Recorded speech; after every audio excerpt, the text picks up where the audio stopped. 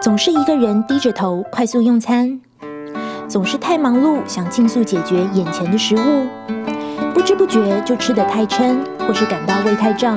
其实大脑需要花二十分钟才能接受到吃饱的信号。如果你在短时间内囫囵吞枣，就算吃饱了，大脑也来不及通知你。所以每次用餐一定要留给自己二十分钟以上，细嚼慢咽。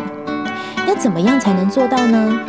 首先，用餐时要保持愉悦的心情，打开你的感官，细细观察食材以及品尝每一种滋味。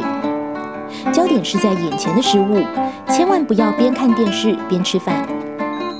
第二，用小一点的汤匙代替筷子。更积极的做法，右撇子就用左手吃饭，来放缓吃饭的速度。第三，饭前先喝汤，或是先喝一杯水，增加一点饱足感。第四，每吃一口就放下餐具，这会帮助你一口一口慢慢吃。第五，设定最低的咀嚼数，从一口咬十下开始，慢慢增加到一口咬三十下。